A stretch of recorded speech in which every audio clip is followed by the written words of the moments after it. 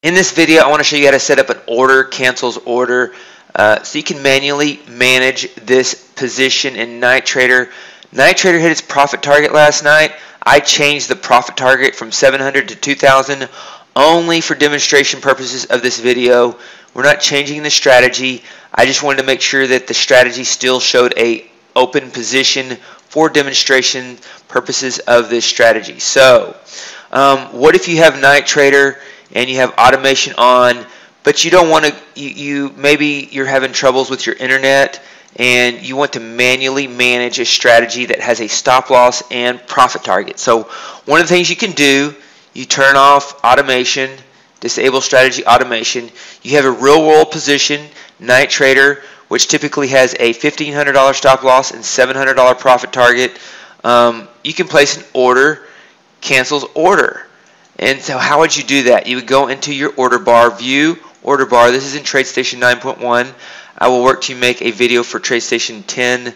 Um, so you'll have that as well. So you have Night Trader. In this trade, you're, you're not managed. You could put in a stop loss and a profit target, but you need to make sure that once one is filled, the other is canceled. So that's what an OCO does. Order cancels order.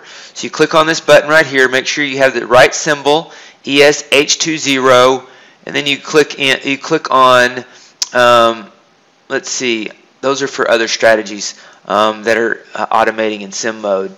Um, so what you what you would do for Night Trader though is to say exit bracket one limit one stop level, and so the right price for ESH20 is 32.24.50.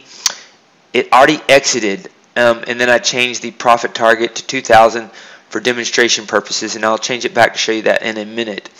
Um, so 32, 24, we have a $2,000 um, $2,000 profit target in this case, which is 40 points higher than the entry price. So we'd go 32, 54, 50, 32, 54, 50, and then the stop loss was 30 points lower. So that would be um, 15 and a half points below 3200 which would be uh, 3184.50 so those are your orders. Uh, sell one 3254.50 on a limit or sell one 3184.50 stop market.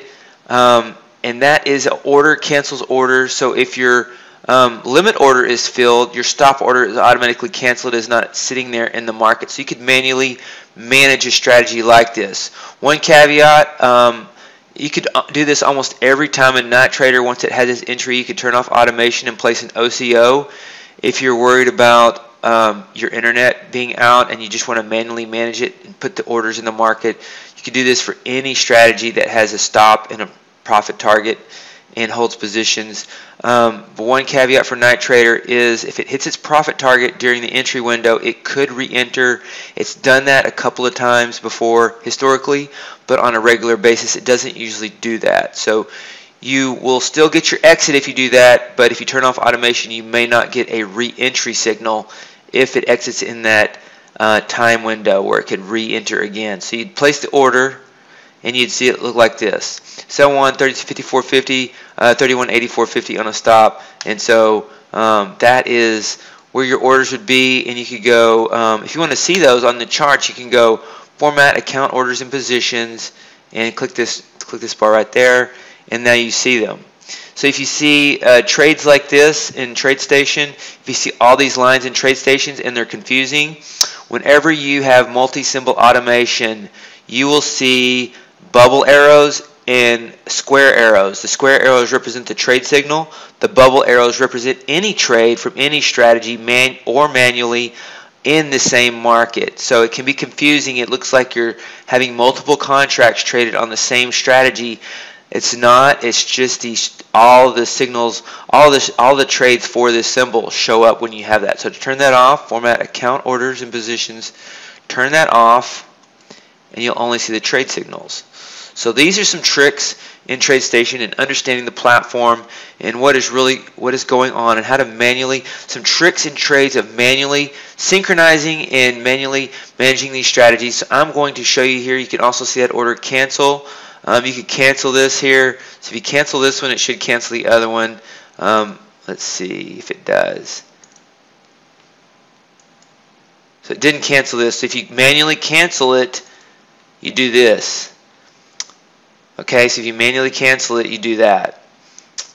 And now uh, we have an NQ trade. So, so you manually um, cancel your OCO. You have to do make sure both orders are canceled. Um, but if one is filled, the other will automatically be canceled.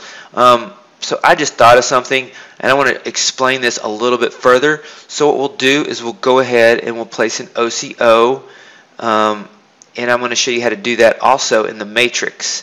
So I'm going to show you how to do this in the matrix. If you want to do this in the matrix, you could say, um, for example, ESH20. We're long, and I'm gonna I'm gonna go ahead and sell this. Boom, sell it. And in the matrix, it's called attach OSO. Um, so what's let's just say attach OSO, and you could say a limit order. Let's just say two points. You could say um, bar settings. Uh, you could say price offset, opposite of primary. And so you could say just two points. So this is going to exit real quick while we're making the video. It's going to push a limit order and a stop order, and which one is filled, the other is canceled. So you can say um, you could you could you could set this up to change these price offsets, but this is not a good strategy to use in general. I'm just putting in a tight price offset so it will quickly execute. So let's just go. Um, whenever you have this checked in the matrix, let's just see. Once I place this buy market order, it's going to place a limit order two points above and a stop order two points below. So watch this. So there it is. One is filled, the other is canceled. Let's do it again. Buy it at the market. It's filled. Two orders. One is a limit order, one's a stop order. And we'll see. One, let's see. When one is filled, the other one will be canceled. Boom. The stop was filled. The limit was canceled. Let's go sell at the market. We're short now and you've got a buy limit here and a buy stop there. Once one is filled, the other one will be canceled. So which one's going to be filled first? Which one's going to be filled? Um, slow market. Market slowed down a little bit. Looks like the buy stop's going to be filled first. So it seems like we had, I think, all the trades were losing when you did that. So um, I wouldn't recommend trading a strategy that has such a tight profit target and stop loss. I did that for demonstration purposes, for execution only. So there's some tricks of the trade. In this video, I will show more later, and I'll show more in other platforms such as TradeStation 10. Be sure to like this video, ask me any questions, and I'll make a video for you um, so you can have that. Um, so if you have any questions on how to use TradeStation, let me know. I'll make a video about it.